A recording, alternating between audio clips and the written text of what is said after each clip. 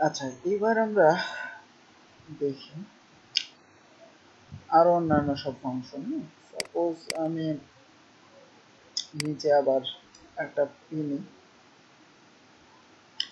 এবার আপনি যদি এখানে লিখেন যে হোম আন্ডারস্কোর ইউআর কি লিখেন?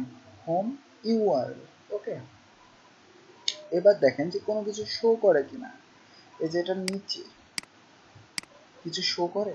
কারণ হচ্ছে, এই ফাংশনটা, এই ফাংশনটাকে আমাকে ইকো করতে হবে। এটা রিটার্ন করা আছে, আমাদের ইকো করতে হবে।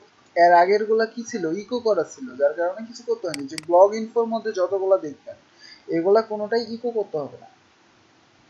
ঠিক আছে? কারণ এগুলো ইকো করাই থাকে। আর এবার দেখেন, এই ফাংশনটা রিটার্ন করা আছে। এবার আমাদের ইকো করতে হবে কষ্ট করে। ঠিক আছে? এবার আমাদের যদি রিলোড দেন, এই যে দেখেন হোম ইউআরএল মানে এই যে এই ইউআরএলটা শো করতেছে ঠিক আছে? উপরের এই ইউআরএলটাই এখানে শো করতেছে। তারপরেও যদি জেনারেলে যান, এইখানে দেখেন এই যে ওয়েবসাইটে অ্যাড্রেস দেখতেছেন? এই ইউআরএলটা ওখানে শো করতেছে। এখন আপনি যদি এখানে হোম ইউআরএল এর জায়গায় এখানে লিখেন সাইট ইউআরএল কি? সাইট ইউআরএল দেখবেন এবার সেম একই জিনিস করতেছে। কারণ এই যে সাইট ইউআরএল মানে হচ্ছে এটা হোম ইউআরএল মানে হচ্ছে এটা। একই জিনিস। ঠিক আছে? সাইট ইউআরএল কিন্তু হোম ইউআরএল আমাদের চেঞ্জ হবে পরবর্তীতে। দুইটা কিন্তু পার্থক্য আছে। সাইটের একটা ইউআরএল আলাদা হোমের একটা ইউআরএল আলাদা। যখন আমরা একটা ফ্রন্ট পেজ থেকে আপনারা দেখছেন যে ফ্রন্ট পেজ থেকে আমরা হোম সেট করি বা বিভিন্ন কিছু সেট করি না, ও তখন হচ্ছে ওই ইউআরএলটা এখানে আসবে হোম ইউআরএল হ্যাঁ সাইট ইউআরএল মানে হচ্ছে এটা, এটাই আসবে। আচ্ছা। তারপরে আচ্ছা এবার আমরা মোটামুটি অনেকগুলো ফাংশন দেখলাম, কিছু ফাংশন দেখলাম, অনেকগুলো। আচ্ছা এবার এখানে অ্যাপিয়ারেন্স থেকে এখানে দেখেন তো যে মেনুস তারপরে হেডার ব্যাকগ্রাউন্ড এগুলো অপশন আছে এখন। আমরা যে থিমটা করছি, এগুলাতে এগুলা ফাংশনালিটি কিছুই করে নাই, যার কারণে এগুলো কোনো অ্যাড নাই। যখন আপনি অন্য একটা থিম অ্যাক্টিভ করবেন, তখন দেখবেন ওগুলো আছে, ঠিক আছে? তো ওগুলা কীভাবে অ্যাড করতে হয়? তো আমাদের এখন দেখেন যেটা ইম্পর্টেন্ট ফাইল অনেক, যেগুলা ফাংশনালিটি অ্যাড হবে। এই জন্য আমাদের একটা কি করতে হবে? একটা ফাইল বানাইতে হবে। এইখানে একটা ফাইল বানাতে হবে, নাম হচ্ছে functions ডট পিএসপি ঠিক আছে? functions ডট পিএসপি ফাইলটার নাম। ওকে ফাইলটার মেনলি কাজ কি? এই ফাইলটার মধ্যে আমরা যে ফাংশনগুলো অ্যাড করব, সেগুলো আমাদের থিমের মধ্যে যতগুলো ফাইল থাকবে, সবগুলোর মধ্যে ইনক্লুড হয়ে যাবে অটোমেটিক ঠিক আছে? মানে ফাংশনালিটি সবগুলা আমরা এর মধ্যে করব, আমাদের যতগুলা ফাইল আছে, যতগুলা ইয়ে আছে, সবগুলো এর মধ্যে অ্যাড হয়ে যাবে। আচ্ছা এখানে বডিটা মনে হয় চলে গেছে বডিটা আমি নিয়ে আসি। ওকে তো এটাকে এবার ওপেন করি। ফাংশন ডট পিএসপি এটা হচ্ছে ডিফল্ট একটা মানে ফাইলের নেম এই ফাইলের মধ্যে আপনাকে এগুলো লিখতে হবে অ্যাড করার জন্য। ওকে অন্য কোনো ফাইল বানানো যাবে না। এই নামের ফাইলেই আপনাকে ফাংশনালিটিগুলো এর মধ্যে অ্যাড করতে হবে। আচ্ছা এবার এর মধ্যে আমরা প্রথমে পিএসপি শুরু করব, শেষ করব। তারপরে এখানে যদি আমি লিখি রেজিস্টার nav মেনু ঠিক আছে? এটা একটা ফাংশন মেনু রেজিস্টার করার জন্য। দেখেন, এইবার আমাদের এইখানে অ্যাপিয়ারেন্স এর মধ্যে মেনু অপশনটা আছে? না এবার একটা রিলোড দেন মানে আমি ক্লিক করেন। দেখেন, এইখানে একটা প্রবলেম আসছে একটা ইরোর আছে, একশো ছাব্বিশ নম্বর লাইনে একটা ইরোর আসছে ঠিক আছে? মানে আমাদের এই ফাংশনটা লিখতে প্রবলেম হয়েছে। আচ্ছা মেনলি এই ফাংশনটাতে দুইটা আর্গুমেন্ট সেট করতে হবে। এই একটা এই একটা ওকে এবার সেভ দেন সেভ দেওয়ার পরে এবার এখানে আবার একটা রিলোড দেন দেখেন, এবার ইরোরগুলো আর আসবে না। ঠিক আছে? এবার অ্যাপিয়ারেন্স থেকে দেখেন মেনুস নামের অপশনও চলে আসছে। দেখতেছেন মেনুস নামের অপশন চলে আসছে। এবার মেনুতে ক্লিক করেন। দেখেন মেনু যেগুলো ছিল এরকম অপশন আছে। এইখানে জাস্ট আমাদের দুইটা আর্গুমেন্ট করছি। কিন্তু এর মধ্যে কি হবে লেখা কি, কোনটা কি হবে, এখন আমরা সেট করি নাই। জাস্ট সিস্টেমটা মানে স্ট্রাকচারটা ফলো করছি। তো স্ট্রাকচার দেখার জন্য জাস্ট আপনি যদি এইটা লিখে, আপনি এখানে গুগলে যদি সার্চ দেন রেজিস্টার ন্যাভ মেনু দেখেন এই যে ফাংশন রেফারেন্স কীভাবে কি করতে হয়, এগুলো সব এই যে কোডেক্সেই পাবেন, যে কোডেক্স এই যে, দেখেন, এই যে রেজিস্টার নেম মেনুস কীভাবে ইউজ করতে হয়, এই যে এভাবে ঠিক আছে? দিয়ে দিয়েছে তারা। ঠিক আছে? তো আমরা এভাবে ইউজ করব এটা। আচ্ছা তো আমরা এখানে একটা মেনু তৈরি করি, জানি যে মেনু কীভাবে তৈরি করতে সাপোজ মেনু নাম দিয়ে এখানে ক্রিয়েট করি এটা কাস্টমাইজেশনের পার্ট আচ্ছা তৈরি হয়ে গেছে। এবার এখানে দেখেন যে ডিসপ্লে লোকেশন ঠিক আছে? এখানে কিছু না ইভেন এখানে আমরা যদি সেভ করি মানে মেনুটা আমি কোথায় সেট করতে চাচ্ছি? এটা তোমাকে বলতে হবে। তো আমি যদি এখানে সেভ দিয়ে এবার দেখেন এখানে সেভ হবে না। দেখতেছেন, এখানে টিক চিহ্ন দিতেছি সেভ হচ্ছে না। হচ্ছে? হচ্ছে না। এই জন্যই যেটা করতে হবে, এই যে প্রথম প্যারামিটার একটা আমাকে আইডি সেট করতে হবে এটা। কি করতে হবে? একটা আইডি সেট করতে হবে। তো এখানে মেনলি দেখেন মেন মেনু এখানে কোনো স্পেস রাখা যাবে না। এই জন্য এখানে হাইফেন ইউজ করছি। ঠিক আছে? স্পেস রাখা যাবে না। আচ্ছা এবার সেভ দিলাম। সেভ দেওয়ার পরে এটা আবার একটা রিলোড দেবেন। রিলোড দেওয়ার পরে এবার এইখানে আবার একটা টিক চিহ্নতে ক্লিক করে এবার সেভ মেনুতে ক্লিক করেন। লক্ষ্য করেন, এবার কিন্তু সেভ হয়েছে। দেখতেছেন? এবারে কিন্তু এখানে সেভ হয়েছে। তো প্রথম প্যারামিটারে আমাকে প্রথমে একটা আইডি সেট করতে হবে। ঠিক আছে? প্রথমে আমরা আইডি দেওয়া জানলাম। এবার আপনারা হয়তো এখানে একটা লেখা থাকে, ঠিক আছে? আমরা কোন মেনুতে সেট করতে যাচ্ছি? এই যে ম্যানেজ লোকেশনে দেখাইছিলাম, এই যে এখানে। দেখেন এখানেও ফাঁকা, আছে?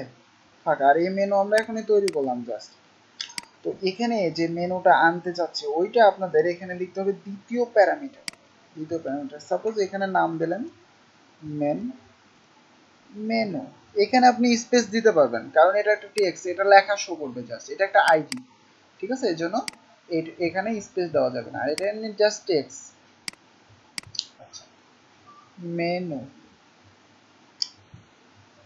মেন মেনু ওকে এবার এখানে আবার একটা রিলোড দেন, দেখেন। এই যে মেন মেনু কতটা শো করতেছে, দেখতেছেন? আপনি এই দ্বিতীয় প্যারামিটারে যা লিখবেন, সেটাই কিন্তু শো করবে যে এটা কোন মেনু হ্যাঁ? টেক্সট জাস্ট আচ্ছা তো এখন আমরা যদি এই যে ম্যানেজ লোকেশনে যাই, যাওয়ার পরে যে এখানেও দেখেন মেন মেনু সেট করতেছে শো করতেছে। দিয়ে এখানে আমরা মেনু সেট করতে পারব, যেটা আমরা কাস্টমাইজেশনে দেখেছি কীভাবে, তাই না? সেম হবে, এখানে সেভ করতে পারব। সেভও হয়েছে দেখতেছেন তো কীভাবে বানাই মেনু এগুলা? আমরা এই যে এটার মাধ্যমে বানাইতে পারব। রেজিস্টার নেভ মেনু মানে ওকে আচ্ছা এবার আমরা এটা ব্যাক ইন্টের জন্য করলাম মেনু বানালাম এখন আমি ফ্রন্ট ইন্টে শো করাইতে চাচ্ছি। মানে হচ্ছে আমাদের এই যে সাইটটা যেটা নিচে, মনে করেন মেনুটা আসবে ডাইনামিক্যালি ঠিক আছে? তো এটার জন্য কি করতে পারি?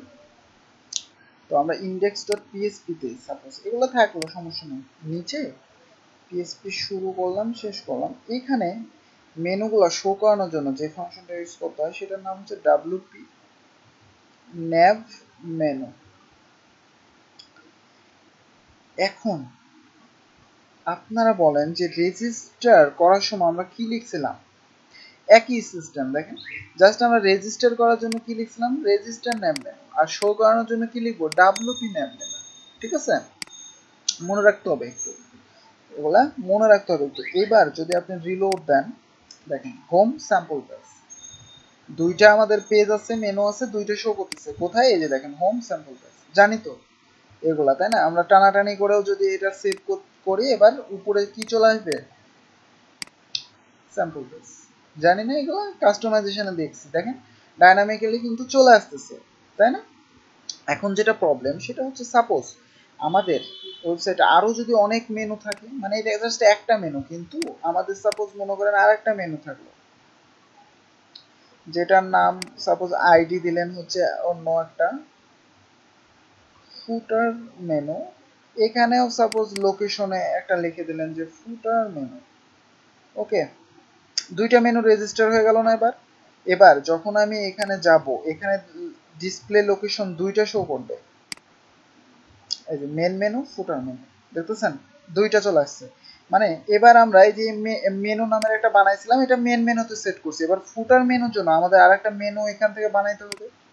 তো মনে করেন এখানে লিখলাম, বানাবো ফুটার মেনু ওকে একটু ডিফারেন্স ওয়েতে লিখলাম, বোঝানোর জন্য আপনাদের।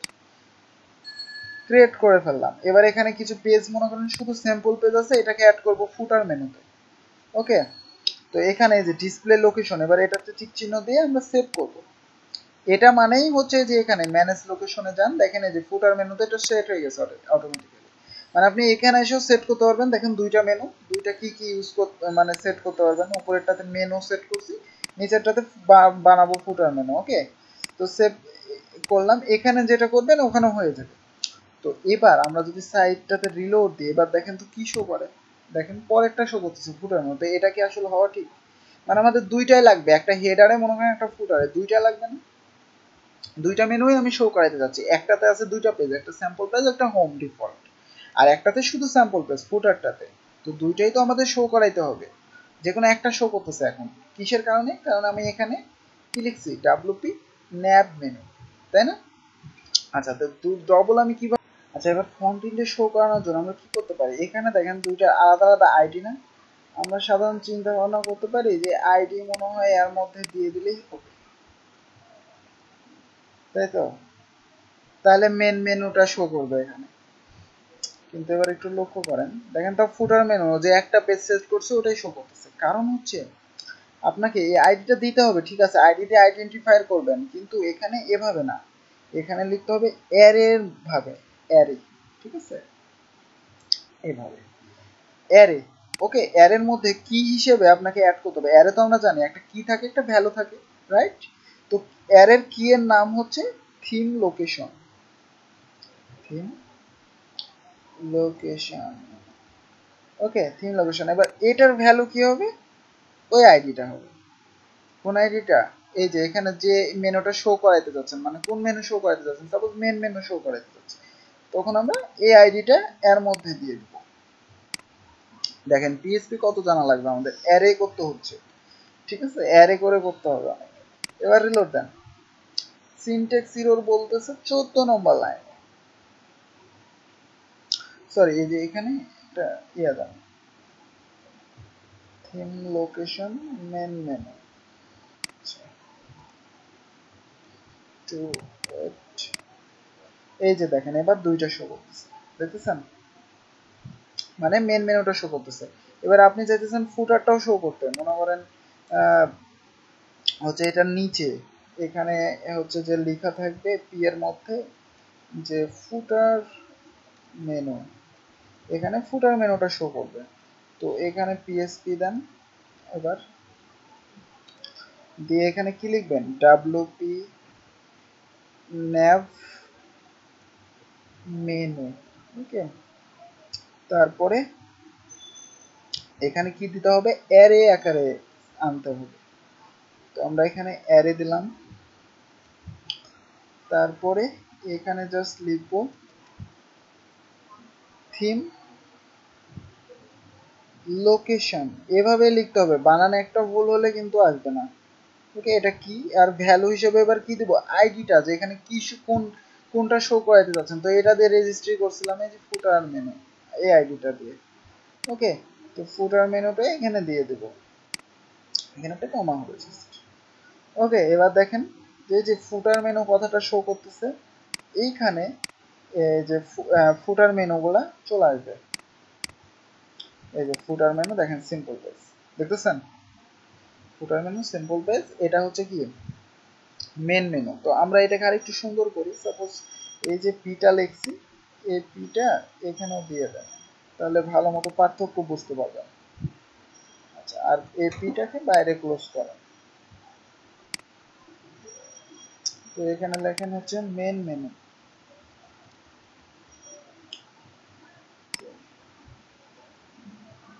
তো এবার আমরা যদি নতুন একটা পেজ বানাই এখান থেকে নতুন একটা পেজ বানাই সাপোজ অ্যাবাউট ওকে তারপরে সাপোজ বানালেন হচ্ছে টিম দুইটা অ্যাড করছি না? সাপোজ একটা পেজ মনে করেন মেন মেনুতে অ্যাড করবেন, একটা হচ্ছে ফুটার মেনুতে অ্যাড করবেন। কীভাবে? মেনুতে আসেন, এখানে কি আছে? ফুটার মেনু সিলেক্ট হয়ে আছে। তো ফুটার মেনুতে মনে করেন টিম কথাটা নিয়ে আসবেন? টিমে নিয়ে আসেন, এখানে। ওকে, টিমটা উপরে রাখেন, সমস্যা নাই টানে টানে জাস্ট সেভ করেন ফুটার মেনু এবার আমরা হেডার মেনু কোথা থেকে সিলেক্ট করব? এখান থেকে, যে মেন মেনুটা এখান থেকে সিলেক্ট তাহলে এখানে চলে আসবে। এবার আমরা এখানে অ্যাবাউটটা যোগ করব। ওকে, এই যে অ্যাবাউট এটা কি? মেন মেনু দেখেন লোকেশনটা টিক চিহ্ন হয়ে আছে সেভ হয়ে আছে। আচ্ছা এবার দেখেন, এই যে মেন মেনুতে অ্যাবাউট চলে আসবে এবং ফুটার মেনুতে টিম চলে আসবে। ফুটার মেনুতে টিম মেন মেনুতে এখানে অ্যাবাউট পনেরো নম্বর লাইনে সিনটেক্স এর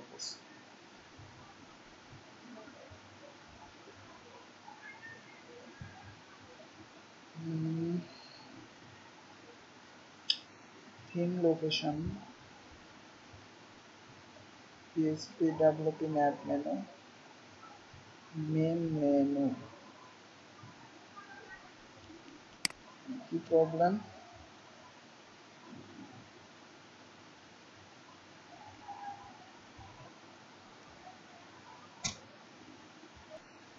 আচ্ছা এখানে যে প্রবলেমটা সেটা হচ্ছে যে পিএসপিটা পি ট্যাগটা আগে উপরে দিয়ে দিছি ঠিক আছে? এটা হলো লাস্টে এটা হ্যাঁ এটাই জাস্ট প্রবলেম দেখেন, এই যে মেন মেনুতে কি হয়েছে? অ্যাবাউট যোগ হয়েছে। ফুটার মেনুতে কি হয়েছে? টিম হয়েছে। তো আমরা এভাবে আলাদা করতে পারতেছি এবং ডাইনামিক্যালি শো করতে পারতেছি। কিসের মাধ্যমে? একটু ভালো করে এগুলো দেখে নেবেন। ওকে শো করাচ্ছে কীভাবে? এবং হচ্ছে আমরা রেজিস্টার করছি কীভাবে? মেনু বানাইছি কীভাবে? বানাইতে হবে। ওকে